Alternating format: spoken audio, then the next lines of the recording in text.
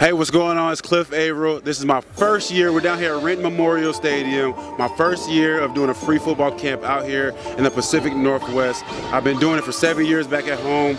I made Seattle home. It's my home. It's where my kids go to school, and I wanted to bring this this energy, these these types of uh, camps to the Pacific Northwest, and I'm just happy to be a part of it. So many kids showed up. So many of my teammates, from Richard Sherman to to KJ Wright, so many guys have showed up to just support and understand what it means to the kids. And we also have Hall of Famer Walt Jones. So it's been a great afternoon, should I say, and we'll continue to keep having fun with these kids.